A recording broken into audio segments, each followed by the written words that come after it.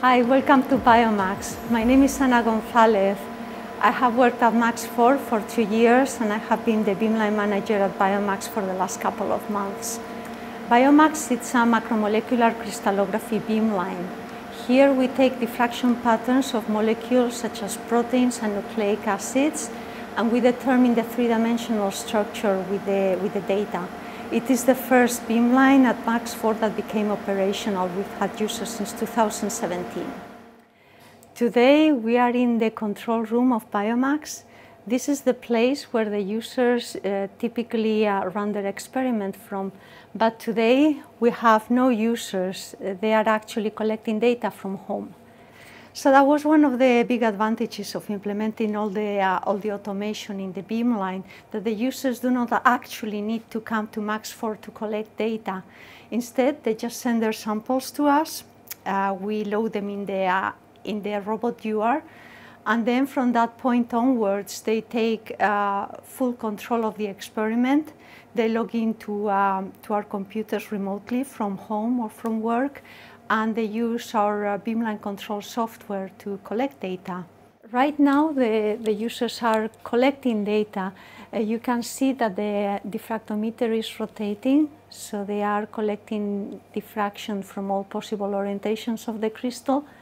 And if we look at the screen, we should be able to see the, the diffraction pattern.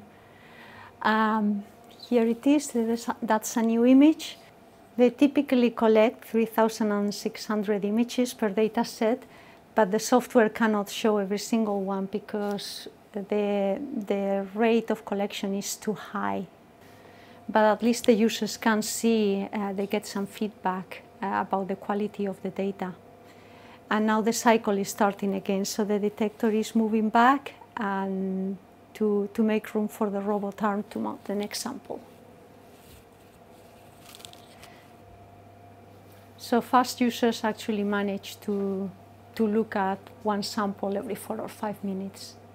Uh, now the robot is mounting a, another sample. So here we can see that it's taking off the sample that was mounted before and putting on a new one.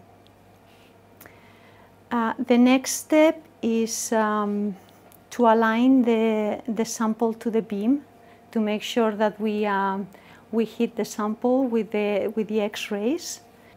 So we can see um, some equipment moving in. That's a backlight to get um, a nice image of the crystal while they are centering it in the X-ray beam. The, this is probably the longest part of the procedure. First, we run uh, automated centering of the, of the sample. A centering means that we want to make the sample and the beam intersect in the same spot. So, so we hit the crystal with the X-rays we can see a close-up here on this monitor. And next, the, the users need to tweak the position of the crystal a little bit by hand. So they will, they will do that next.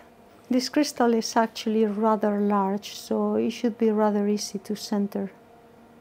They are going to hit that, that tiny bit there is the, is the beam. So they are going to hit that part of the crystal.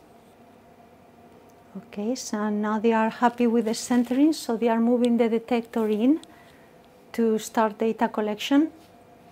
We see that the aperture and the collimator go in automatically.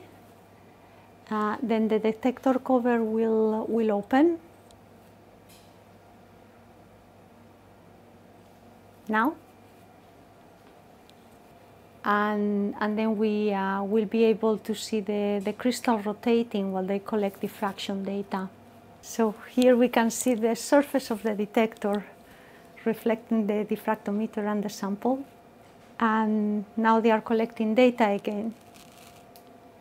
And any second we'll see the uh, new diffraction images coming up we try to to make the experiment as automated as possible and to and to run uh, workflows or, or scripts that condense the different steps of the experiments.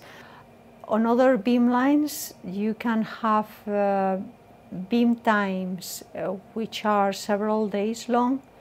Uh, here we have four hour shifts or eight hour shifts. That's pretty normal So right now, pretty much the, the only step which is uh, a little bit manual is the last part of centering the crystal. And we are trying to eliminate that. We, we are trying to make it automated so, so they can center the crystal automatically using the diffraction of the crystal.